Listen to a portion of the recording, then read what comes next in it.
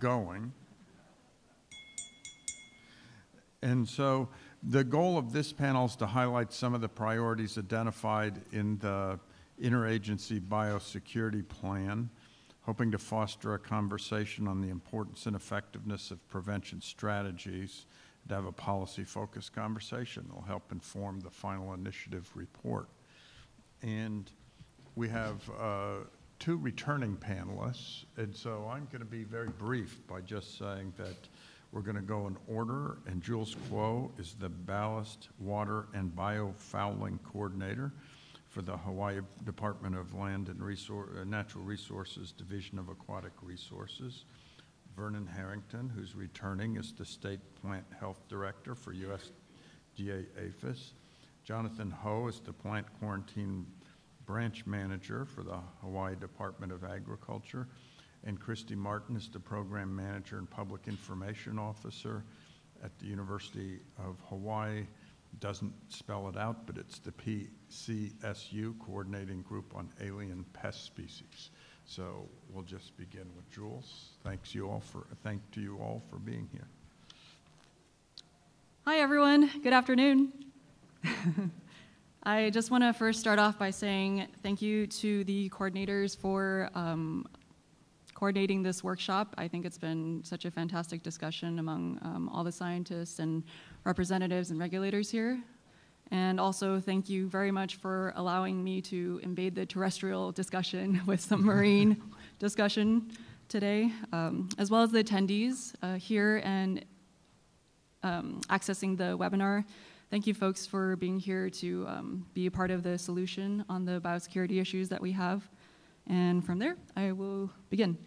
So, my name is Jules Kuo. I'm with DLNR, uh, Division of Aquatic Resources, and I'm here to talk a little bit about the Hawaii Ballast Water and Biofouling Program, which is uh, the program that I manage in the state.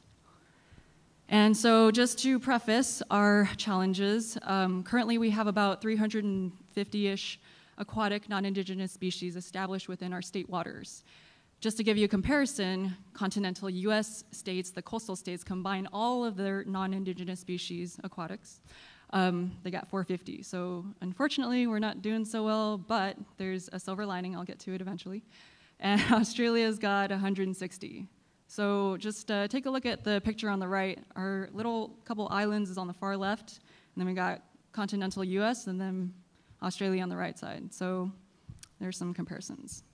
The top two vectors of aquatic non-indigenous non-indigenous species transfer into the state are um, vessel biofouling and ballast water discharge, and I'll get into more detail as to what those are. Currently, we are sitting in one of the islands in that circled area called Hawaii, and we rely very heavily on the shipping industry to bring our goods, and obviously we're very grateful as well because without them, we wouldn't be able to sleep in these beds and have our office supplies, uh, groceries, toilet paper, and all the amazing ingredients that make this amazing gourmet food that we eat here quite frequently. So, um, currently, uh, from data in 2017, we receive about 1,000 vessels, and this has been consistent over time, over the decade.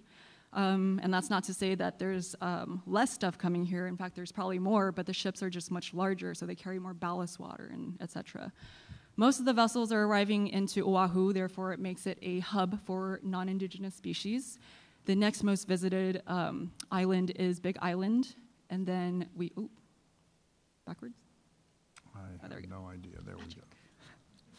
And then we have the other uh, neighboring islands that receive also um, some level of uh, vessel coming. But this isn't the, the whole picture, right? This is just the commercial vessels that report to us coming from outside. And it's actually voluntary for inter island vessels um, to report to us. So big thanks to them, um, but it's not the whole picture that we see here.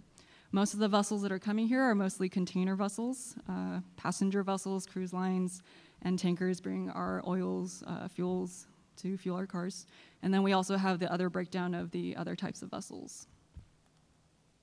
Vessel biofouling is the attachment of organisms to the submerged areas of the ship. So here's a picture of biofouling, and here's another one of biofouling that has not been managed probably for years and decades or so, and it's pretty scary. They contain ecosystems, um, so you can see the issue of it transiting, let's say, from Oahu to, you know, Kauai, somewhere more pristine.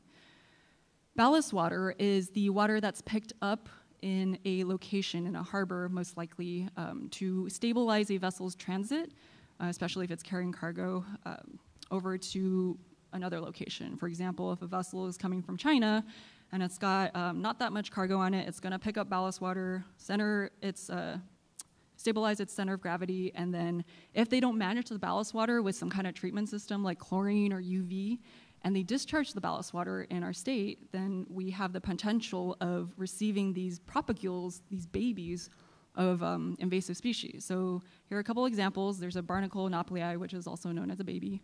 Marine worm baby. On the right side, we've got clam oysters and mussel potential uh, babies, and then marine snail at the bottom. And what they do is they basically establish as a, uh, they look around for a nice home to sit and stay there forever, and they turn into these adults that you see uh, in this picture. And while the ecosystem is impacted by these organisms, um, there's a lot of chain effects that occur afterwards. So why do we care about these invasive species? Because they impact our recreational uh, fishing folks, including spearfisher women and men. Um, and by the way, the coral reef ecosystem, our natural um, aquatic and cultural uh, resources, bring in about 800 million dollars in revenue, gross revenue, to the state. And this is a statistic from about 2000, so it's probably increased since then. Uh, invasive species have the ability to affect our aquaculture industry, fishing industry, and they also have been shown to affect humans. Um, unfortunately, in this example, there was Vibrio cholera that was discharged into a South America area, and there was a high mortality rate of humans. So, besides you know socioeconomic impact, there's human health impacts as well. So, the silver lining is that we do have a program to prevent further introduction, um, and it's specialized in pre-border and border protection and for today, I'm just going to focus on pre-border and specifically the first data point, the, um, excuse me, the first point, vector risk assessments, while there's some outreach component as well. We right now have ballast water regulations, um, which requires vessels to report their uh, ballast water information. They have to tell us where they've picked up their ballast water, what, what they treated it with, if they manage their ballast water, how much they're discharging, to basically allow us to assess the risk of that vessel coming in. And so if we're concerned, then we can go and address it because we can't, we don't have enough capacity to assess all 1,000 vessels coming in. So right now we board with the U.S. Coast Guard. Uh, we work very well as a team. Um, they're mostly our muscle, and we are the scientists, the kind of lighter colored folks is me and um, a technician. And what we do is we verify the reporting forms and we also take samples um, and then enumerate the viability or the concentration of organisms that are in that ballast water.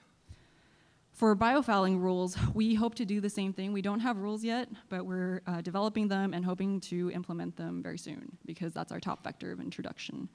They, it will in include a reporting form, as you see on the left side, and then also um, eventually inspections, and that's a picture of my uh, boss, who used to also fill gaps since I'm kind of a one person show sometimes, uh, before he became the DAR administrator.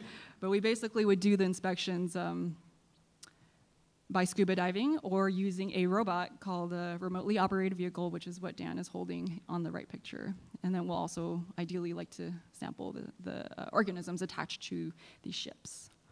So, also part of the implementation will require us to roll out some best management practices and get folks educated and, and um, understanding what the issue is with microfouling and macrofouling and biofouling in general. So there's just wanted to give you a summary of what microfouling is. It's kind of the slime layer that's on the vessel side, and if you just like wipe it off, it's just this algae uh, bacterial layer. Really easy to take off.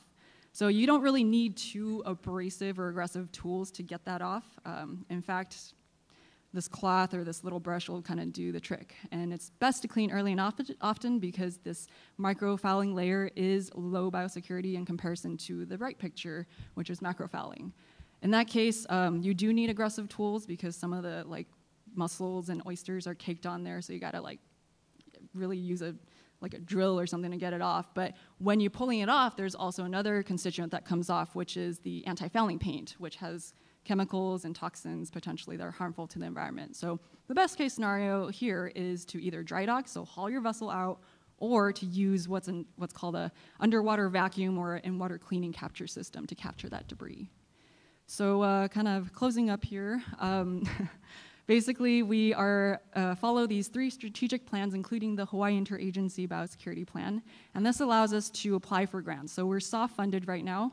Um, we really do stretch every dollar, and like I said, I'm kind of a one-person show at times, but the positives is that we have a lot of collaborators that um, really do uh, make up for the capacity challenges. So last thing is uh, while I kind of give you a grim view of the situation that is in Hawaii of aquatic invasive species challenge, there are still so many, um, so many reefs right now that need saving and still have the, uh, the quality that we call, you know, our aquatic natural resources. But through collaboration is, is what we, we would be able to, um, excuse me, through collaboration is how we become successful. So that's it. Thank Great. you. Thank you very much.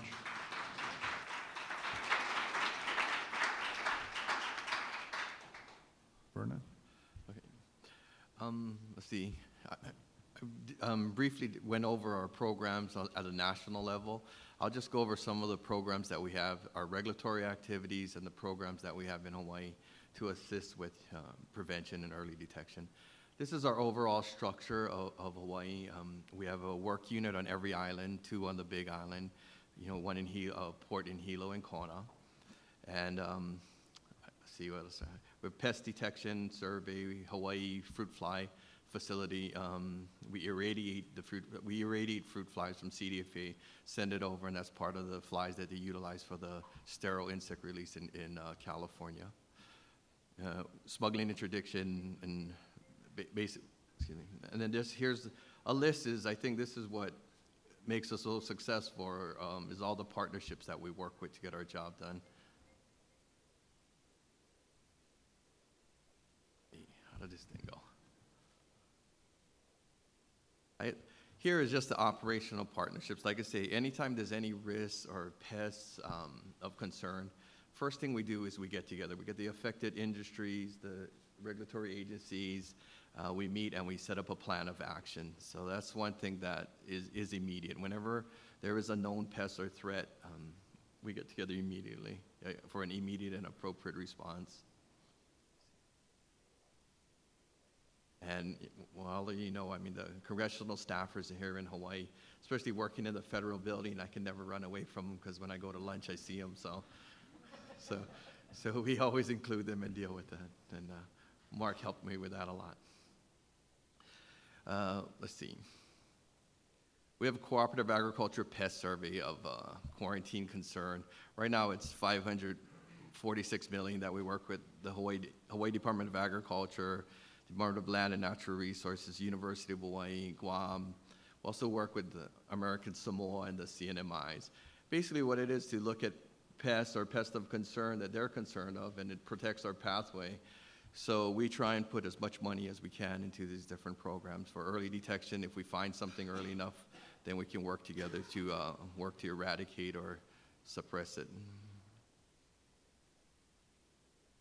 That's just more of that.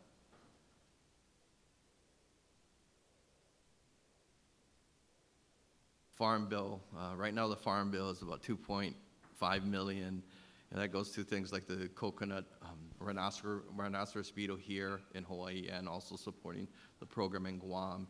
And recently there was a outbreak in in Rhoda, oh, is it Roland? In, in that um, has been. We were fortunate there because I guess they found it really early, and it was someone.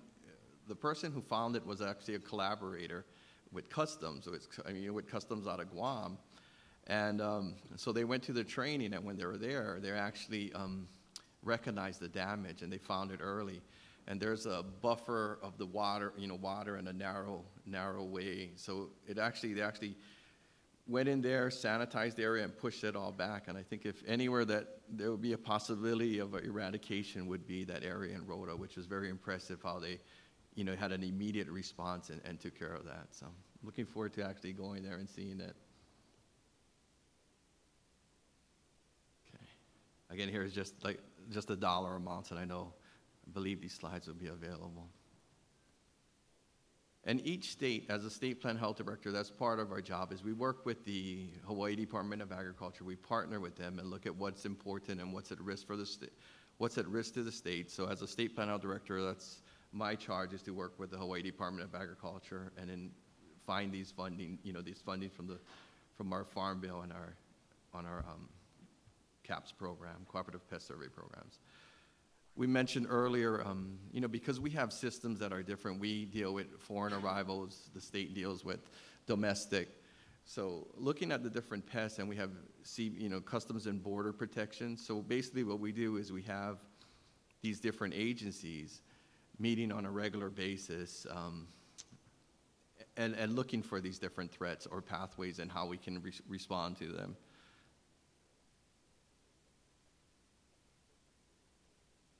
Smuggling and trade, uh, smuggling interdiction and trade compliance. Basically, like I think it was mentioned about with the internet, with sales, um, e- even with Costco's and Walmart. I think you know they were selling. Were, were they selling um, coffee plants? I mean, one of them brought in coffee. They didn't know. I mean, or is it Longs? Longs. So a lot of these larger companies, they actually go ahead and sell things, not even know, you know, not even knowing that it, that's prohibited, or they bring in large volumes of, of things. So what we've done is with our smuggling uh, interdiction, we actually try and meet on a regular basis with these large distributors and let them know what the regulations are, opened up that communication so that we can we can stop it. And and if something, you know, there's a lot of things that come in, but if something does come to Hawaii, we have a system set up where we actually, as soon as we, we find something, we with uh, we work with border protection, and then we meet immediately with the Hawaii Department of Agriculture. So we look at, you know, what was the risk coming in? Is it an acceptable risk? Can it be mitigated here in Hawaii? Or does it have to be, have to be re-exported or destroyed? And so what we do is we actually evaluate that risk as a group so that when we make, when we answer, and, a lot of, a lot of these issues go up to the congressional representatives. So when we do answer those questions, we resolve it here in Hawaii as, as a, as a team, as CBP, the Hawaii Department of Agriculture, and PPQ. So it ends there instead of going back up to C, DC and back down. So we can take immediate action and, you know, we're pretty secure and once we make the decision that, that it stays that way.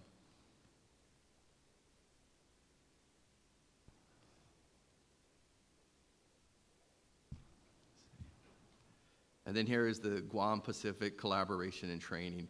One of the things we're trying to do more is reach out to the Pacific and, and assist with their programs, um, do training. Recently, we worked with American Samoa to get them an x-ray machine because they never had an x-ray machine. So that, that's made a big impact in their airport operations and foreign arrivals. Um, we also train their inspectors. We've, we've had people from Guam or the different areas from the Pacific come and look at our program and mirror their program after ours. So we support them because the stronger the Pacific and those nations, I mean, those islands are out there, then the stronger the pathway is to protect Hawaii and then the Pacific, you know, and the continental U.S.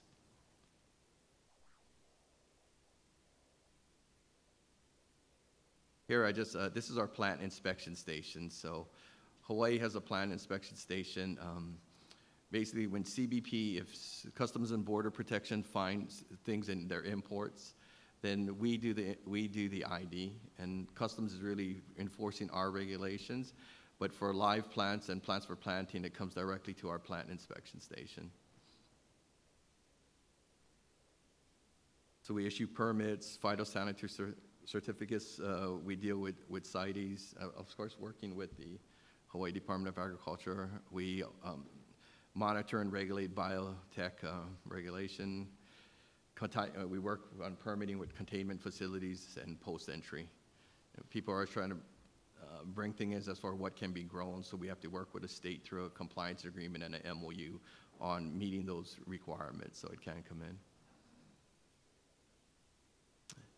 and uh, CGAPS. Um, CGAPS and different invasive species groups. We're a partner of that. And Dorothy Alantago in my office, she's uh, very passionate about it. I, th- I don't think there's a day goes by that I don't hear about what we need to do more for, uh, for this program for Hawaii and the Pacific. So,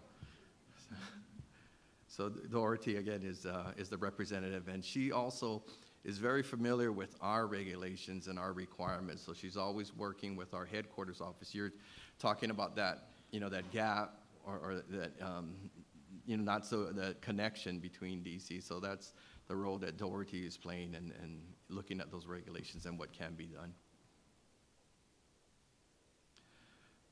Fruit fly detection and program, again, we have, the- we have these, uh, the major fruit flies here.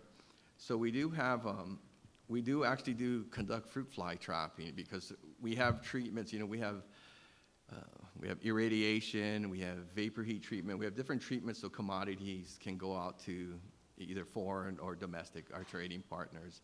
And if another uh, fruit fly, species of fruit fly got in, that could, you know, that could cause problems with our export. Or, so we actually do this monitoring and we work closely and looking at, and working with the Hawaii Department of Agriculture. Because if we do find something new, then we can take immediate action and, and do additional trapping, delim, delimit, and try and find out, you know, if that is a problem, if we can treat it. I think that's it. Okay, that's it. Thanks. Great, thank you very much. Jonathan?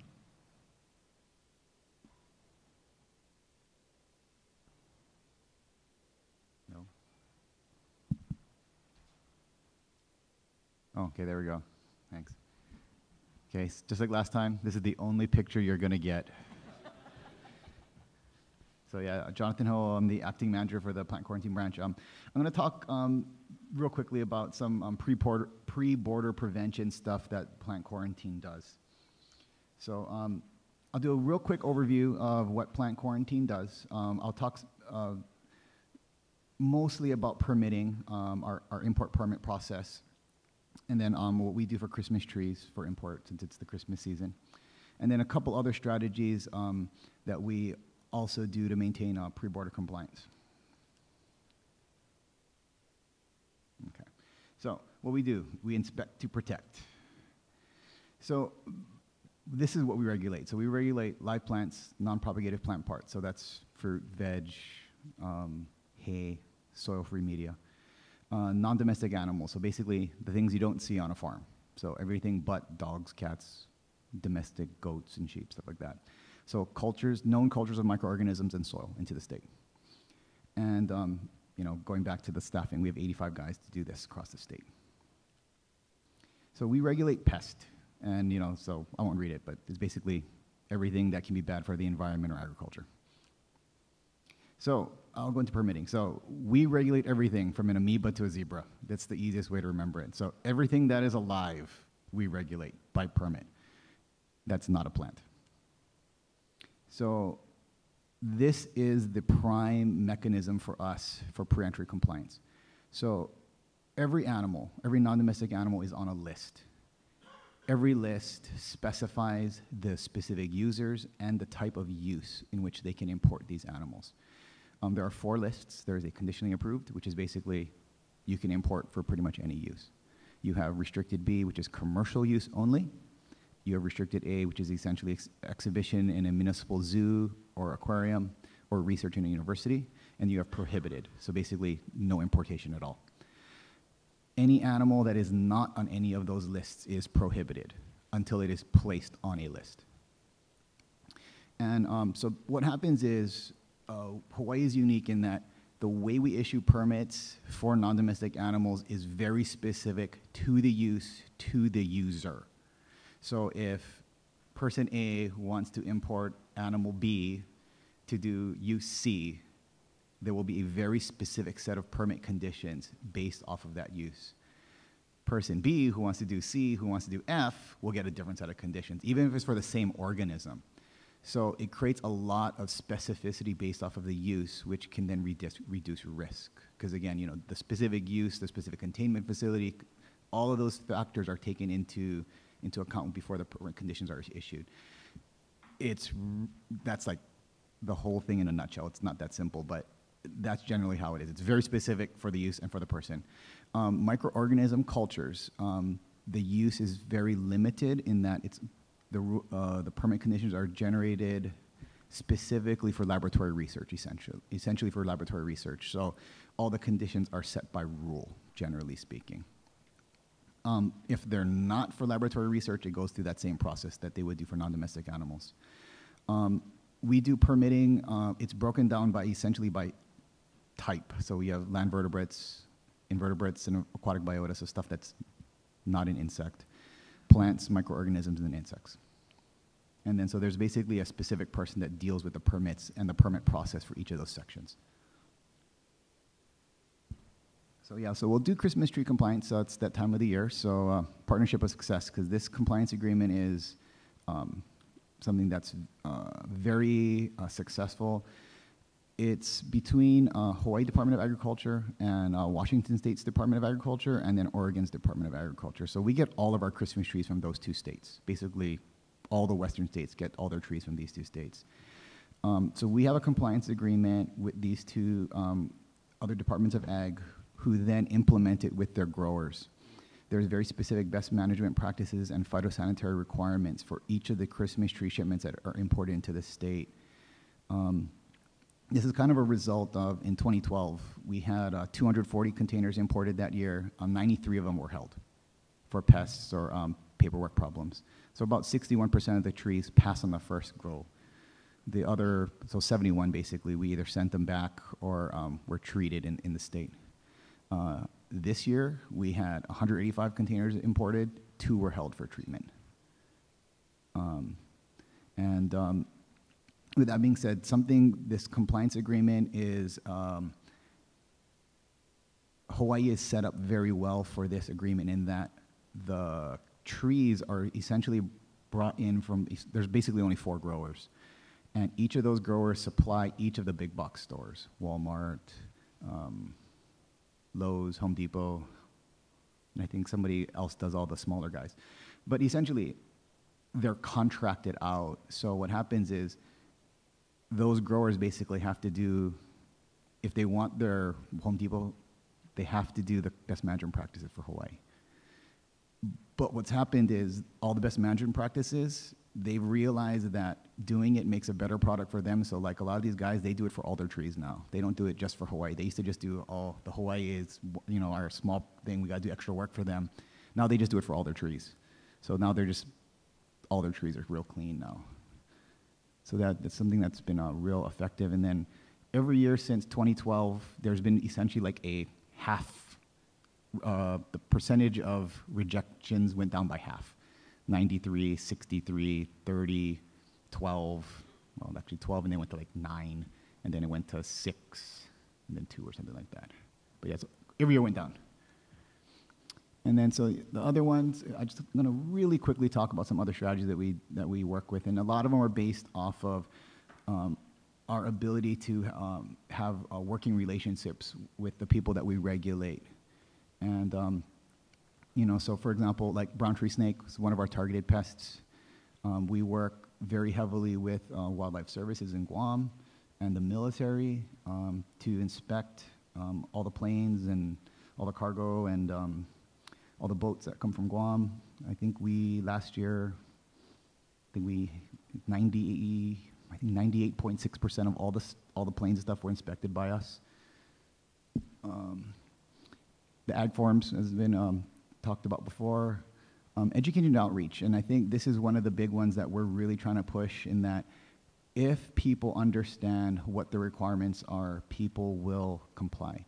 Generally speaking, people aren't out there to break the law, and if they understand the law, they will comply. Um, you know, people will smuggle, and you know the guys that are going to smuggle are going to smuggle no matter what you tell them. But if you can, if you can get the low-hanging fruit, that will really uh, increase compliance for everyone. And then the last one is, um, is real quickly e-manifest. So the department, we have, um, um, we've implemented a pilot program for e-manifesting. So what's happening is we're having um, specific importers who import basically only fresh produce. They electronically provide us um, a manifest of all of their commodities prior to entering into the state. So they have a, a there's a time frame. And then what we're doing is we're able to review all of the commodities prior to entry, and then we're able to then kind of take a look. Like, for example, the guy's bringing a whole container of onions. Instead of sending somebody out there to wait for the container to unload it, to make sure there's onions, we can then have that person go somewhere else to, to um, focus on commodities that are of higher risk.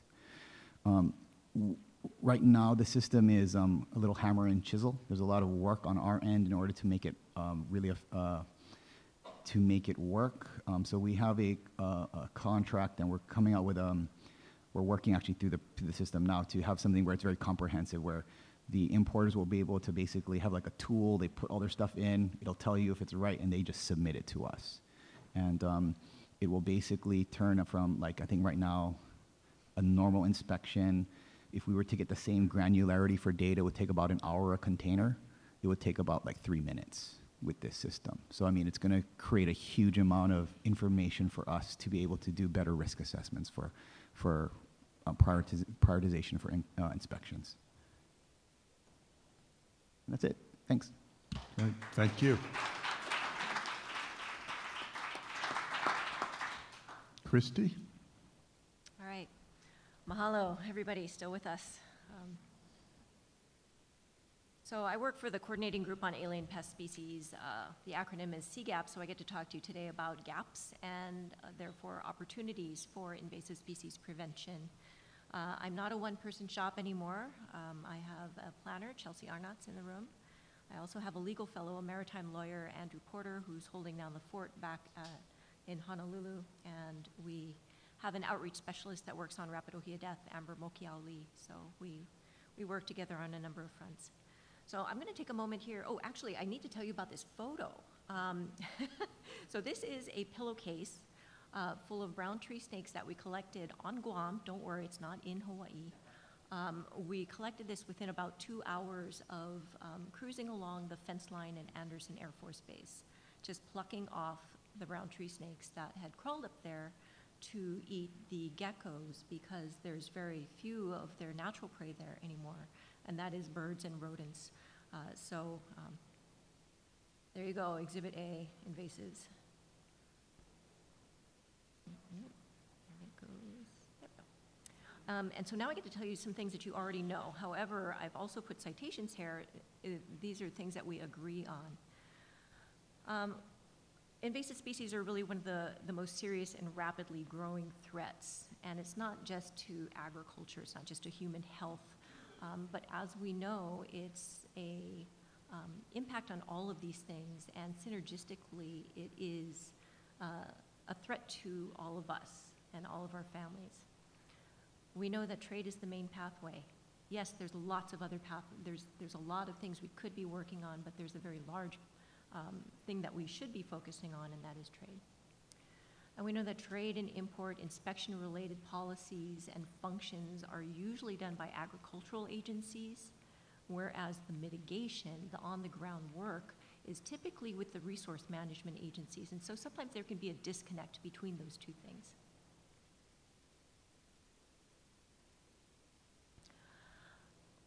Now, we know relatively little about the interaction of pests, of agriculture, and the abiotic factors that are related to climate change.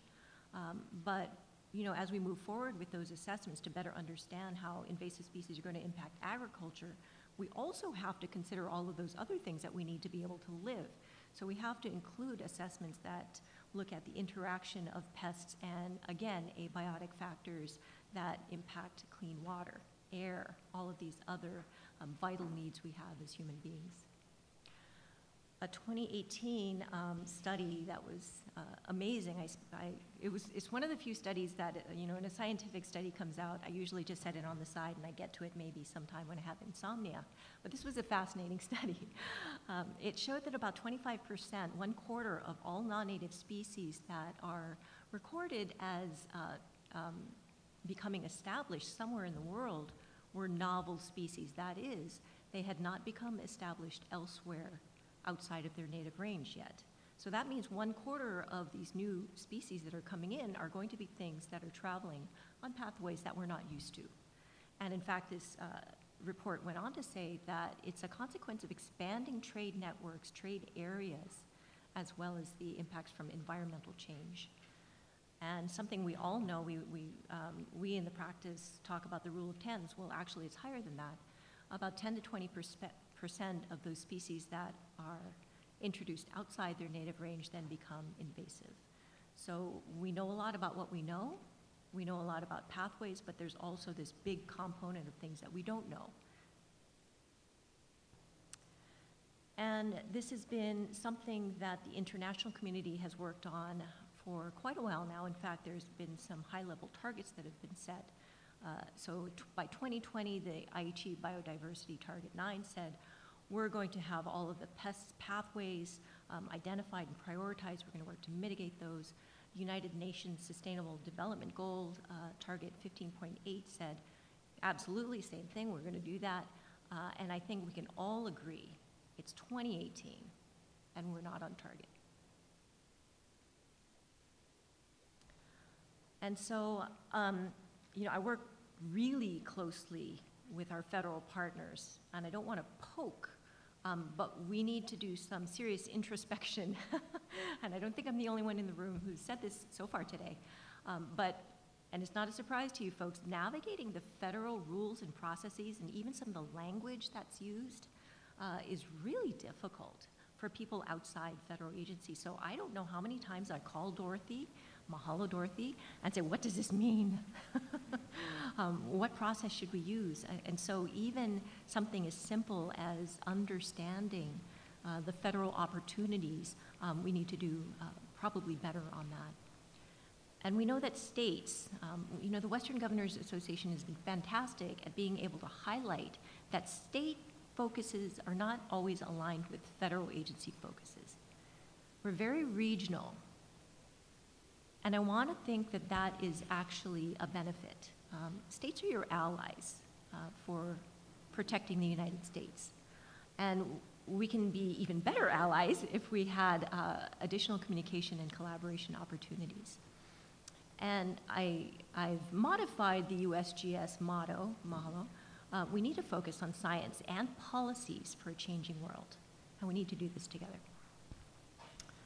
So I've got three examples here, um, uh, looking at prevention gaps and opportunities, and I want to, you know, someone else mentioned earlier today about gap analyses, and I think we need to continue to look at some of these. So here's, um, here's a gap.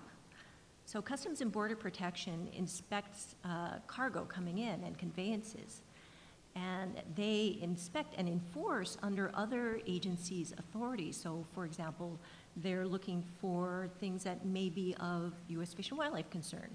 They're looking for CITES things. They're opening the box anyway. Well, the Customs and Border Protection does not actually have the authority to take action if a human health vector is found in that conveyance.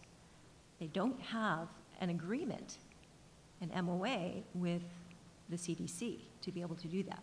So they cannot legally stop that shipment. They can't hold that cargo. That's a very easy thing to fix. But little old CGAPS uh, talking from Hawaii has had a hard time doing it, so maybe Western Governors uh, Association, Association can give us a hand with that.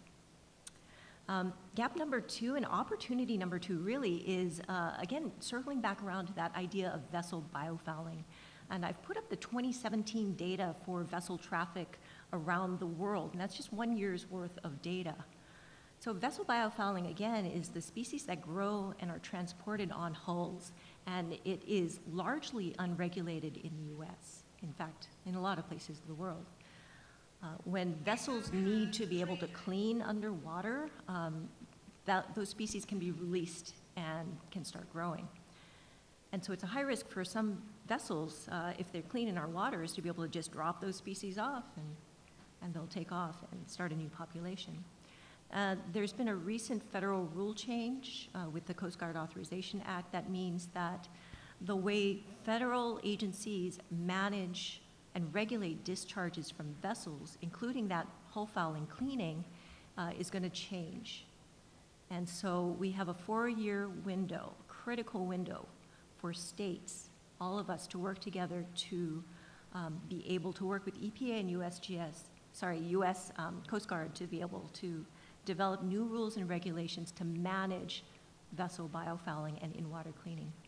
It's an opportunity because cleaner vessels will have fewer emissions, they'll have greater fuel efficiency. So this is one of those things that's, you know, more than a triple win if we can do it right. And example number three is science and technology.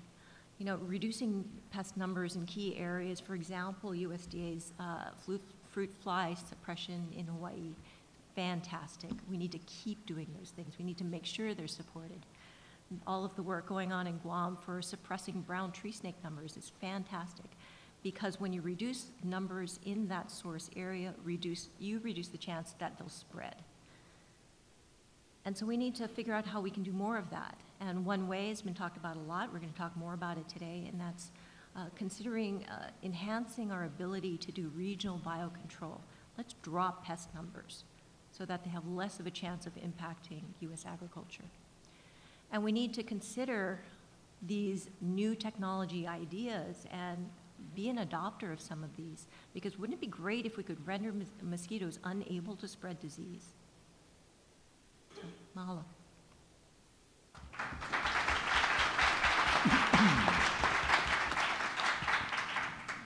Thank you very much. Uh, Let's do a couple of questions here to the group, and I think there's a global one in two parts that hangs over all of this, and that is uh, really uh, to do pre-border uh, detection or prevention, it requires relationships or actions or cooperation with other countries.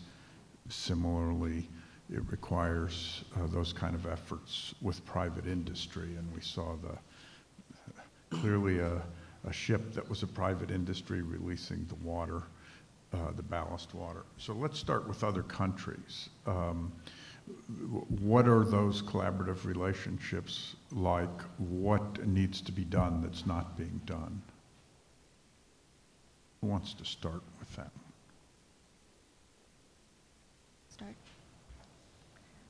So regarding our work with other countries, you know, we, we've already heard about some great examples. The Regional Biosecurity um, Initiative is one of them. I think that's a perfect example of what we can do. You know, when the IUCN, uh, International Union for the Conservation of Nature, World Conservation Congress was here in 2016, uh, we worked with the IUCN to launch the Honolulu Challenge. And uh, it was upon, you know, Patty's slides about, you know, just one of these initiatives. And so when you look at what that is, it is a platform for different nations and even sub-nations to come up with a, um, a wild and crazy idea uh, and, and pledge, challenge yourself to do it on this international stage to be able to try to achieve it. And an example of that, of someone who's taken the Honolulu Challenge, is New Zealand. And we can learn a lot from what they're doing. You know, they've got this goal of predator free by 2050 for their country. And they don't have all the tools they, they need to be able to accomplish that. They don't have all the money, they don't have it all planned out. But it is a wild and crazy idea. They're pledging to do it. And, you know, I plan on being around and I'm, I'm just going to take bets. You know, I think they're going to make it. And if they don't make it, they're going to get darn close. And so it's ideas like that that we can really learn from um, with other countries. And so um, I invite all of us to sort of figure out, you know, who we can copy and adopt. Um, Jules, you had something to say? Yeah, so kind of going off of um, what Christy said, uh, but in a different direction. Right now, we work very closely with um, our Australia and New Zealand partners um, because they do have biofouling regs in place. Uh, they're pretty robust, and um, California as well, they have regulations. So we're not reinventing the wheel um, because that would take a really long time. In fact, we're kind of just copying and pasting and stamping our, um, our uh, logo on it. And, you know, tweaking it to, to mimic or um, appropriately address security issue, biosecurity issues in the state of Hawaii. Uh, so we actually chat regularly uh, every month um, via toll free because it's really expensive to call in, um, just you know, in general. And then um, I think it's absolutely important, and maybe uh, some of you or most of you agree that um, when you're collaborating with folks, it's important to get everyone actually in the room in person to have a chat. It's very much different when you're on the phone or through Skype. Um, actually, having that interaction uh, really does make a difference because you know a lot of communication is through body language, um, and yeah, we. I think we're able to make a lot of headway um, by meeting in person. So just that was kind of a suggestion, and that's also what we do uh, in the program. I'll, just add for on PPQ side, I think, um, you know, we already have off, right now we have offshore initiatives where, you know, we, we look at, we go to other countries that are, um, importing into the United States and then we, we have international service people, we work with them or, you know, we collaborate with them or we have staff from our policy and management who go. So they basically look at the potential threat, work with industry, work with the, with the other countries to have them treat and mitigate that pest before they come here. But I guess, you know, like this close collaboration as this group and the Western Governors Association identify things, and if you identify higher risk things that we, we may not be, you know, doing, I think we can expand upon that. So I think that's something to, to look at. Now let's move forward to sort of a private industry or companies. Uh, They're equally involved. Uh, What kind of prevention work and relationships do you establish other than just plain enforcement? Um, well, from, uh, at least from our standpoint, um, we deal, um, we- spend the majority of our, uh, of our manpower uh, dealing with importation. And um, the people that are doing the importation are, you know, they live in Hawaii. And people that live in Hawaii recognize the impact that um, invasive species have. And um, uh, for a lot of them, they just don't know. And once they understand, you know, like, why are you regulating my corn? Why do I need to have a, certificate for corn coming into the state? I can get corn wherever I want. And then you explain to them, well, the reg is, is, is created specifically for specific pest. European corn borer, we don't have in Hawaii. And it's really bad for corn. So once they realize that, ah, the, the light turns on, that's why we got to do it, and they're, they're on board. And I think it's, a lot of that is just for, for those, like, for the companies, you know, they, they're, they live here, they want to continue to do business here, and if they understand what needs to be, or why you're doing what you're doing, it's not, I have a stick and I'm going to hit you with it. They are, are, you know, more often than not are willing to work with you to make sure that um, we have a shared outcome, which is not having pests come in with their stuff. Great. And, and as far as for, for my experience, as far as working with private industry, I, I like I say, I had the opportunity to work in Arizona, the, the wheat, you know, wheat um, program, Karnal bunt, uh, citrus with uh, Sunkist, Calavo with avocados. And coming in as a regulator, you know, we, we come in here as regulators, we don't know the systems. We don't know their barcoding, you know. I mean, they have the ability, if you find something in, in Japan or anywhere else, you can, you can look at that box, they have a barcoding, they have a trip ticket. So there's all documentation that you can actually track back to what grower it came and when it was harvested and, and what packing house it came from. So we do not, you know, work in that. They also have the ability to track even shipments of wheat and everything else. But with the amount of trade going on and everything else, and it, it'd be, it's critical. I mean, it's impossible if we don't expand those partnerships. And um, that's something actually we do here in Hawaii with, through compliance agreements. Um, you know, we have over 300 compliance agreements just for cut flowers, where peop we work with the University of Hawaii, the extension agents, so they look at best practices. They train um, the growers. We work with them. Uh, we, we renew the agreements. We have the ability to track things back. But I think, you know, and when we meet with the industry, I mean, we let them know this is your industry. If you're going to jeopardize it, I mean, you know, this is for everyone. So we all have to be on the table on it. And I think that's something that we need to really look at expanding on, on how we can make those partnerships. I mean, even here, you know, we were talking about like, say, if you, if you need to control something here, but you don't have a, you don't have a quarantine, so you don't have, we don't have the regulatory bite. But then I think that's when we partner with the congressional staff. If, if a distributor or somebody who's dealing with that, and you can find those choke points that everybody have to, has to go to. If the county makes it part of their, or the area makes it part of their, you know, requirement, when you get your permit, that everybody who deals with you has to go under this training or under a compliance agreement, then you can control it that way. When we would go into quarantines, for example, you know, you can't go for every grower, you can- but you can look at, well, how is it distributed? You have the packing houses and you have the wholesale distributor. So you put them under a compliance agreement, let them know that. You need to let everyone know that on this date, no one can move things, or you cannot accept things without people going through the training and the requirements, but that will take congressional, I mean, congressional support, that will take industry and all of us working together, so I think that's something that, you know, we need to expand. We have about 10 minutes left, and we're going to do it with your questions. Who would have a question for the panel? Here, right here.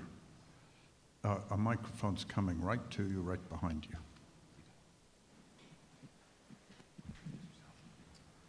May Nakahata, I guess I'm one of the few private industry people in the room. But anyway, my question is on phytosanitary certificates. So I had to import trees from Florida, and the first shipment was a small one, just 20 trees, and a frog came along with it. So I reported it to Department of Agriculture. So when the sh- second shipment, which is a very big shipment, came in, DOA put people to inspect every tree. So thank you very much. And they found frogs again.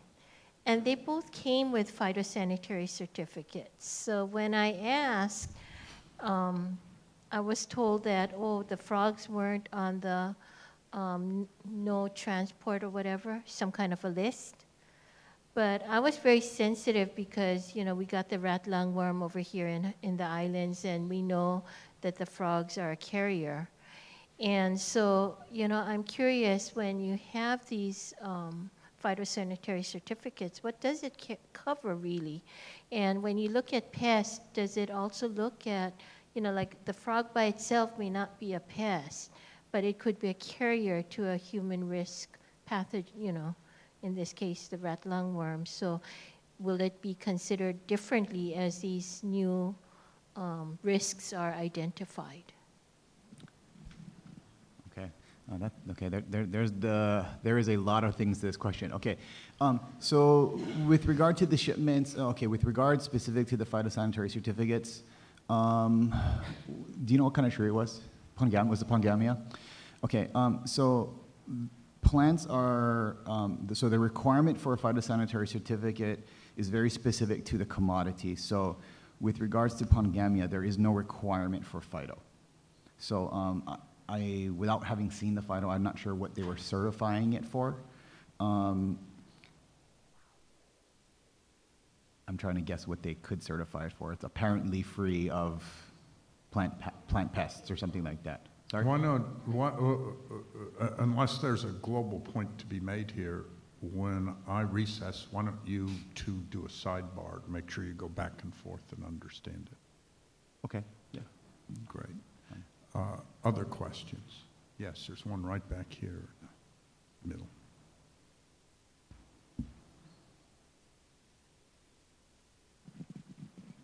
uh, Matt Baur, Western IPM Center. Recently, was it announced that the quarantine that was covering um, a, um, not Asian longhorn beetle, um, emerald ash borer in Colorado was going to be dropped because I believe it was USDA APHIS said that the quarantine was not cost effective. Um, I'm kind of curious how this panel feels about um, the idea that quarantines could be dropped because, in fact, they're not effective. Can I go first? I'll give, I'll give Vernon some time to Go, think. go, go, yeah. So, um, You- You just actually might set him up even more, so, uh, but you No, go I first and that. take a whack at it. Yeah, um, yeah, there was an interesting one. I was in Montana when that was occurring, and so I was, um, you know, it was really interesting to hear uh, the talk about that. And from what I'm understanding is that sometimes things can be dere- deregulated because there's no effective control. And my challenge to, um, to regulatory agencies is, have you evaluated that regulation itself might be an effective control? Um, You know, one reason why you make a law that you can't talk on the phone isn't because you're going to have a policeman at every single place where you might be talking on your phone while driving, but because that regulation prevents people from killing other people or themselves.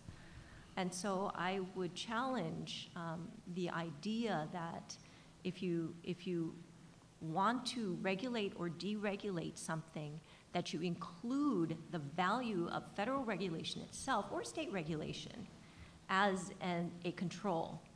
Um, and perhaps there's a middle ground because I know that it gets really expensive and, and tough for federal agencies to manage these giant multi-state things. But maybe again, that's where state partners can come in. And maybe if we were able to continue to regulate at the federal level to have that appearance of regulation, I hate to say it for the public, um, and then figure out how to backfill with state agencies um, instead of cutting it off one or the other, um, maybe that's the space we can operate in. And I, and Vernon can correct me if that's not possible. Sounds but- good to me. Well, well, you know, Vernon, um, you, you might have a comment Okay. you're about to make anyway, but let me ask uh, a question which is, that comes from that to add to it, which is that, y- you know, any enforcement, as was said, like law enforcement, um, you hope not to use the enforcement, you hope that people are educated about it so they take the action. How do you educate people so that they know what they're supposed to do and what the consequences are rather than just enforcing on them?